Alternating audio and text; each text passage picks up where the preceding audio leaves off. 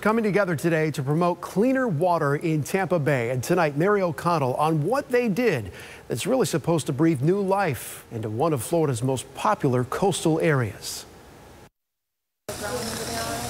With that, the first step in an ongoing project to help keep local waterways clean and healthy. The water is our economy. Here at Johns Pass, business owners like Captain Dylan Hubbard with Hubbard's Marina are passionate about the cause.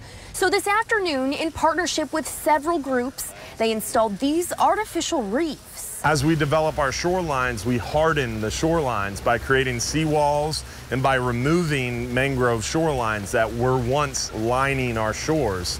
And then also with the recent outbreaks of red tide and all the pollutants that have been going into the water as of late, we've seen a huge decrease in our our natural grass beds. Over time, Hubbard explains this gets caked with grasses, barnacles, oysters, and small corals that all promote filtration. He tells me their goal is to have every dock have these artificial reef structures underneath, promoting softened shorelines, filtering more water, and keeping the waterway clear. That way, if we do have a red tide outbreak or we do have some pollutants that enter the waterways, these filtration systems will then naturally clean those systems up. And hopefully, if we do have a red tide, it wouldn't last as long, wouldn't be as concentrated. Hubbard hopes this is just the first of many installs, while also looking for more places around the area to install more reefs. It's a great way to clean millions of gallons of water uh, per month and help keep our waterways clear and promote uh, a better water quality. At Johns Pass, Mary O'Connell,